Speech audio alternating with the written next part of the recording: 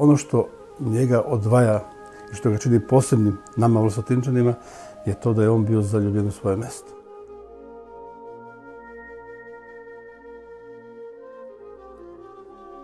Od tog njegovog rada nastala je kolekcija koju je nazvao Moji Vlasotinčani.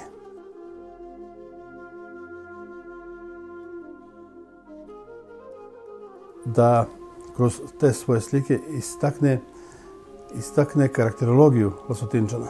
To su oštri, oštri crte likova, uh, onako malo grčevite brade, istaknute oči. Njegova ujna nije, nije dala da, se, da, da on slika ujaka, jer je smatrala da onaj ko se naslika ubrzo umire.